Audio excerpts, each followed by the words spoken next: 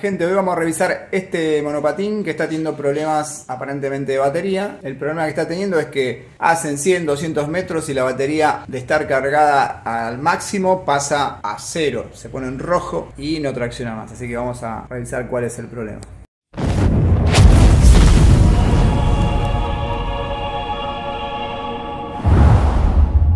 Bueno, vamos a empezar a revisar. Todavía no, ni siquiera lo abrí, así que no sé con lo que me voy a encontrar adentro. Para el que recién pasa por el canal, yo me dedico a hacer reparaciones de todo tipo, autos, motos, vehículo eléctrico, lo que venga. Lo que venga, te reparo. Si sos una persona que le gusta reparar todo, estás en el canal correcto. A mí me encanta reparar lo que venga. Lo estudio, lo miro, me fijo, leo y lo termino sacando.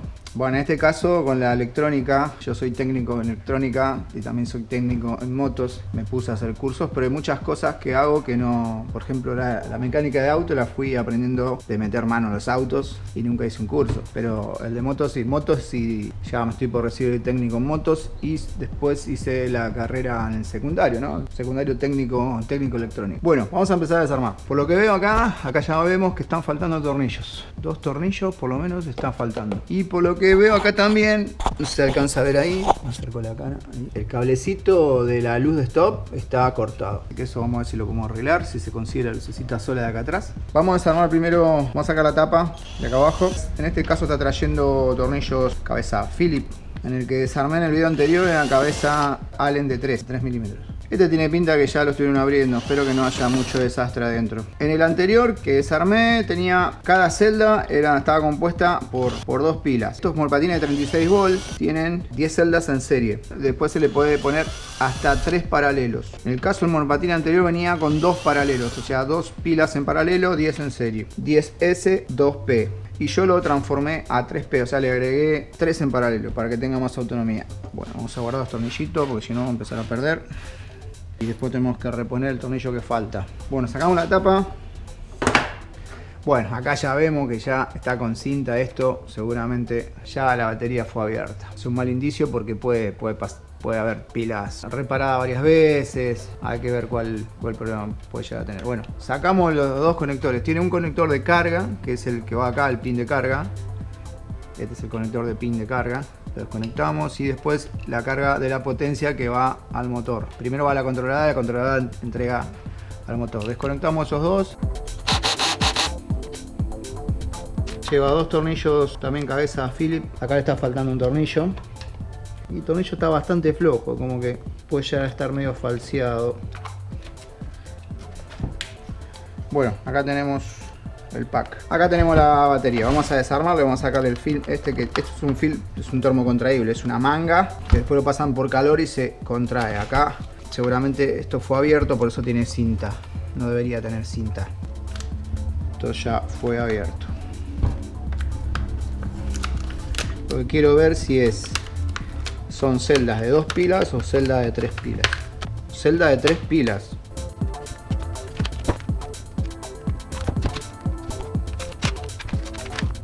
Acá estamos, acá lo tenemos.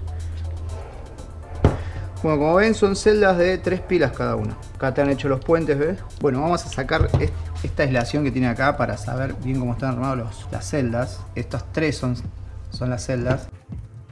Este papel hay que sacarlo con cuidado porque así después lo volvemos a poner. El negativo tiene acá la punta. Bueno, antes de desconectarlo vamos a medir qué tensión está teniendo en este momento. Positivo y negativo. Directamente a la batería. 35,6. O sea, está dentro de la tensión nominal. 36 la, la tensión nominal, está un poquito descargada. Tiene pilas dañadas porque cuando uno le pone a cargar, carga al 100 y cuando le da, le da potencia las pilas se caen muy rápido. O sea que debe haber pilas que tienen una capacidad muy, muy limitada. Bueno, vamos a, voy a poner a calentar el soldador. Bueno, vamos a sacar acá el negativo. Ahí ya sacamos el cable negativo. Así terminamos de sacar el, papel este. Podemos empezar a testear las celdas. Vamos a guardar para después reutilizar. Como vemos tenemos acá, si se alcanza a ver, tenemos positivo, negativo, positivo, negativo, positivo, negativo. La parte de atrás, la que tiene el papelito verde es la parte positiva de la pila negativo, positivo, negativo. Vamos a medir cada celda, cada conjunto de tres pilas. Vamos a medir la primera. Negativo acá. Con el positivo de este lado. Esta celda. Y ahí tenemos 3,7. ¿ven? Vamos a buscar acá. Fíjense que vamos a agarrar el mismo negativo. Ya se hace un puente. Y vamos a buscar con el positivo pero del otro, del otro paquete. Medimos ahí. Y tenemos 4,9. 4,4 volts. Hay un desbalanceo terrible acá. Porque el anterior tenía 3,6, 3,7. Hay pilas que están bien y otras pilas que están mal. Bueno, sigamos con, la, con esta. De este lado está el positivo, vamos a ver el negativo de este lado. 3,8, 3,7. Vamos con este negativo y este positivo de este lado. 4, 4,1. Y ahora vamos con este negativo y el positivo de este lado. Tenemos 3,9. Vamos con este positivo y el negativo de este lado. 4 volt. Vamos con este, con el positivo de acá. 4 vamos a pasar, acá se hace el puente, vamos al positivo de este con el negativo de este lado, 4 y vamos con el negativo de este y el positivo de este lado. Acá no tenemos nada. Esta puede ser la causa de la baja. Y la última celda 3,9 acá hay un desbalanceo en la primera 3,7 vamos a cambiar solamente la de la celda que están muertas que era la número la celda número 2 que son estas tres de acá. Acá se nota, ven, está todo soldado, sé que estuvieron soldando. El tema es que el problema está en estas tres. Vamos a retirarlas y vamos a cambiarlas. Con un destornillador vamos a agarrar la chapita. Sin, no podemos hacer esto, yo ya estaba por hacer cagada. Fíjense, si hacemos así, vamos a hacer un corto. Tratar de levantar la chapita. Vamos a levantar la chapita esta de alguna manera. Sin tocar esta parte, porque haríamos corto. Vamos a tratar de levantar la chapita. Ahí despegó uno. Y despegó el otro. Perfecto. Vamos con el siguiente. Sería este de acá.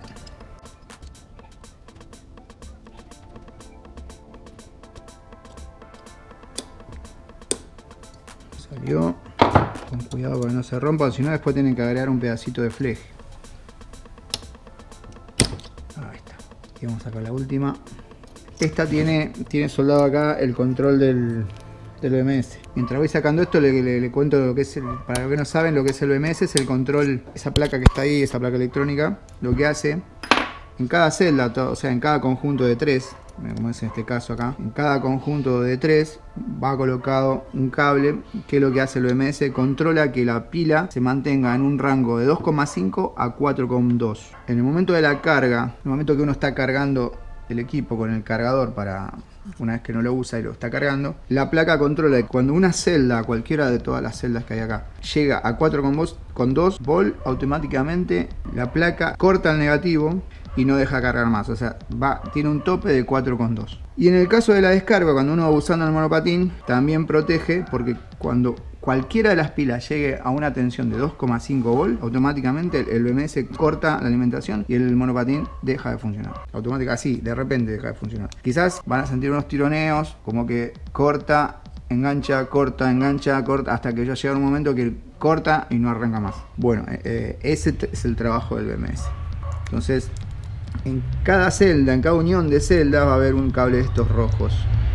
Bueno, vamos a sacar las chapitas, pero la del otro lado. En este caso tenemos que sacar estas tres, ven las que tienen, que tienen eh, los aisladores los verdes. Acá no hay problema que toquemos la de al lado porque es todo un puente, porque es el, primer puente. Entra positivo por aquí, entra el positivo de abajo, pasa negativo acá y puente a estas. Acá lo que tienen que tener cuidado cuando meten el destornillador, que no vayan a meter muy acá adentro porque está la parte negativa, porque la pila es como un vaso, es todo el cuerpo negativo hasta acá arriba, por eso le ponen el aislador este. Si uno pincha el aislador y pincha la, eh, esta, esta aislación que tiene acá rosa y toca al mismo tiempo el pin del medio, están haciendo un corto a la pila. Y bueno, puede saltar una chispa, se puede poner en corto, prenderse fuego. Ahí desconecté uno. Viene saliendo bastante bien esto.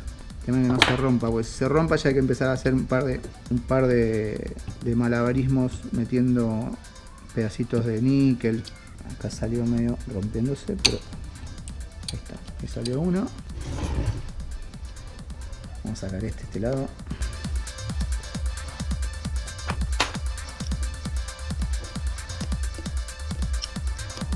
Bueno, aquí te quedó medio roto. Quizá le tengamos que hacer un pequeño puentecito. Bueno, y la última que es esta de acá. Es esta de acá, la que tiene la aislación verde.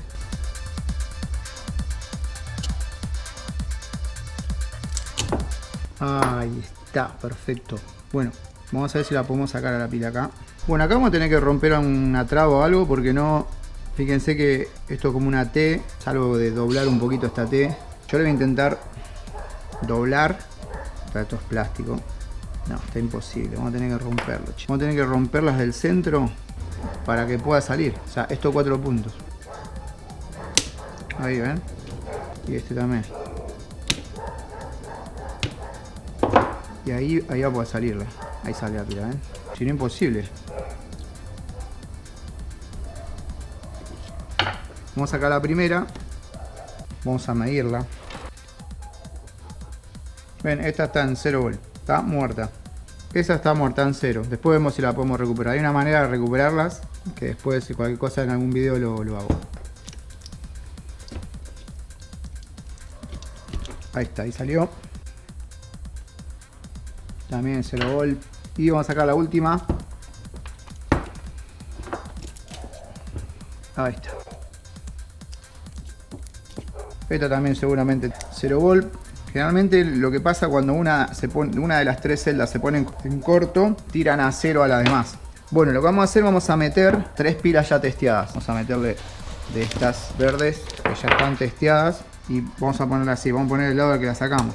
Esta, fíjense, esta tiene 2326 mAh.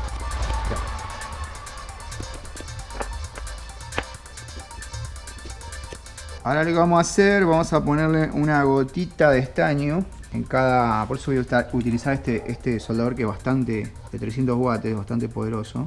O sea, calentamos muy poco la pila. Vamos a probar con esta.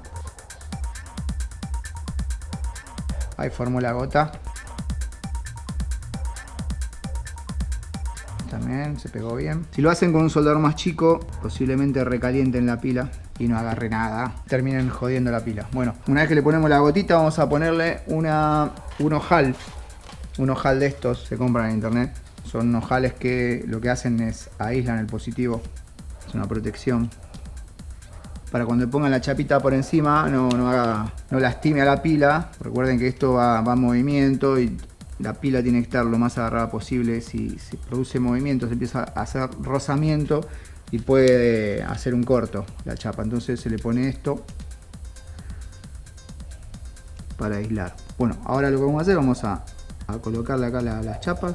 Podemos hacer también es estañar un poquito esto. Mandar un poco de estaño ahí para que agarre ya.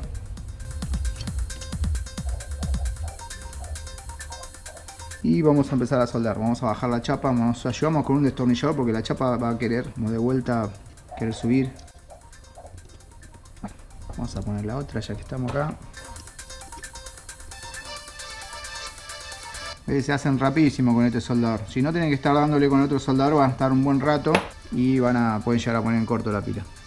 Este vamos a darle un poquito más de estaño.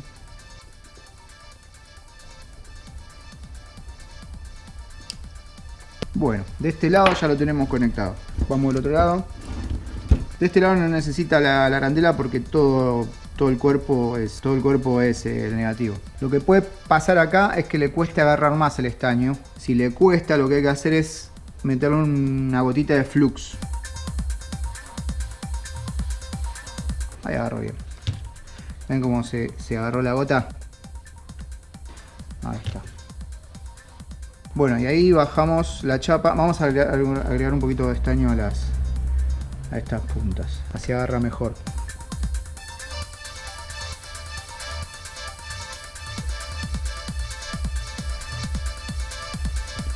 Bueno, ahí está.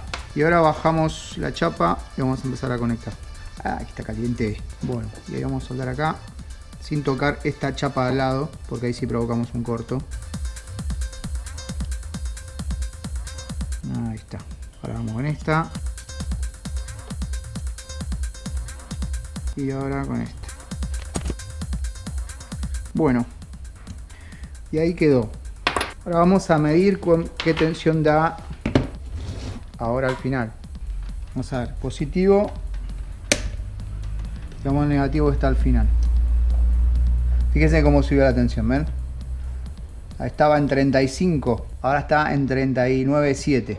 Así que ahí ya estaría bien. Lo que vamos a hacer es vamos a armarla de vuelta y vamos a probar. Lo vamos a colocar en el, en el monopatín y voy a salir a probar la autonomía.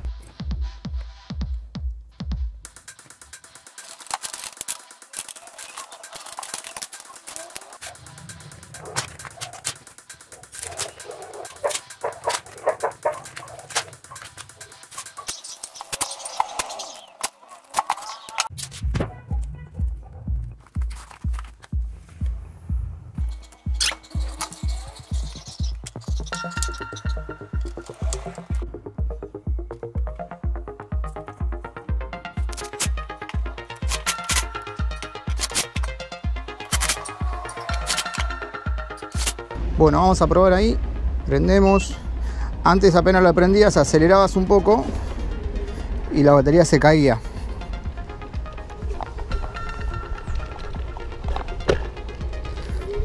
Se ve ahí.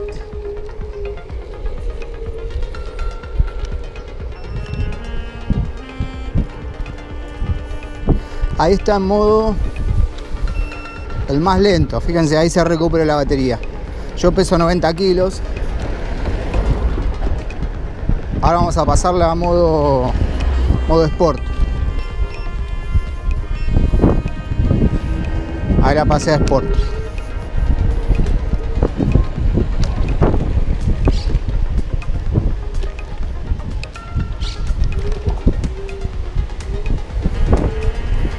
A ver si se la aguanta ahí.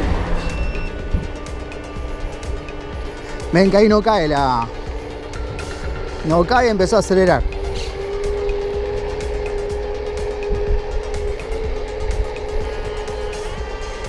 Vamos a 24.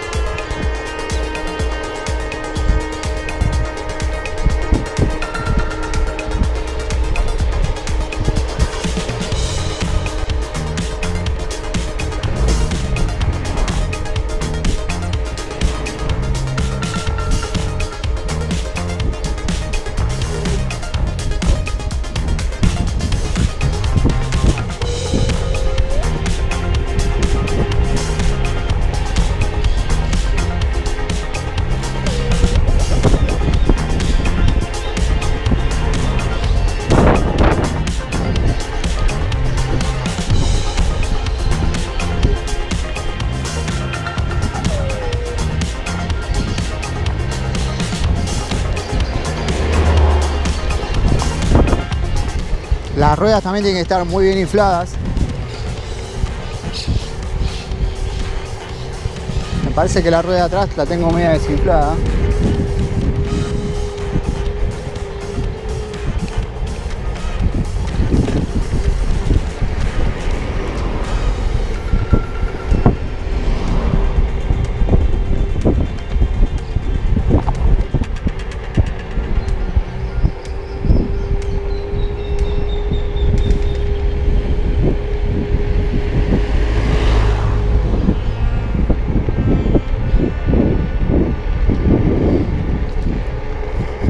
Estos vehículos tienen una máxima de 25 km por hora.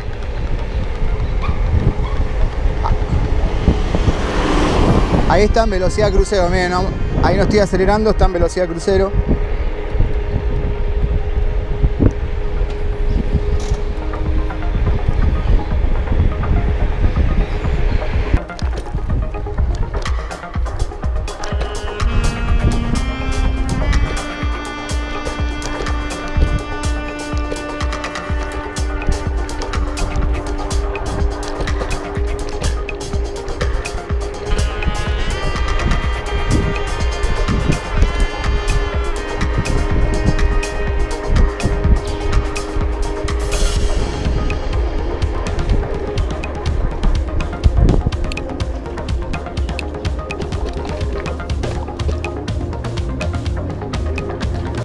Ahí pegué una vuelta, eh, bastante bien la autonomía, unos 15 kilómetros y bajaron tres luces, eh, yendo a una velocidad media, así que aumentó un montón la autonomía.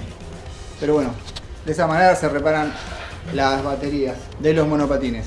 Si les gustó el video, suscríbanse, denle like y bueno, nos vemos en el próximo. Chao, chao. Papá, arregla todo.